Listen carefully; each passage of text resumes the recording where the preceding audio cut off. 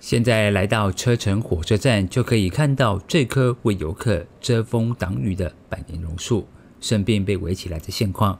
日管处专程设置围篱，除了要好好治疗榕树之外，也维护游客安全。在在治治疗，因为它那个树枝会掉下来打到客人，打过很多遍的。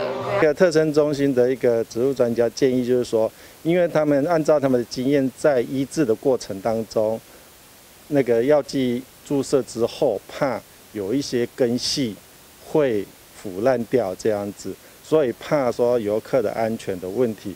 所以建议我们用大型的一个钢支架来支撑这个树木，防止它倒塌这样子。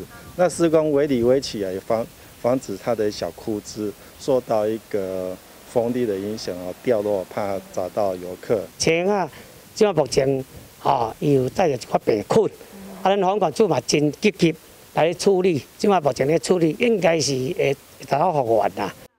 位在车城火车站旁的百年榕树。去年状况变得特别严重，日管处找来及其特生中心树医来进行移植工作。经过看准之后，榕树可以恢复健康，状况相当乐观。很旺盛哎，叶子好多。对啊，对啊。啊，这边变得很稀疏，又变小。对啊，明显呢。对啊。所以小小小好多，所以就其实我们我们我们是觉得说真的。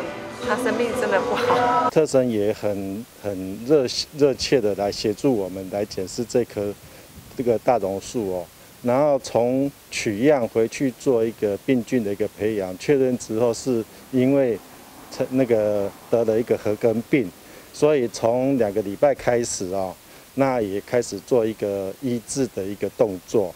那目前一告一个段落，可能观察期半年的一个时间哦。再看看它的一个成长状况。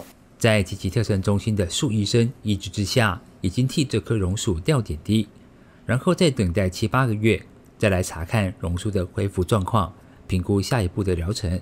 当地的民众都很期待百年榕树可以早日恢复健康。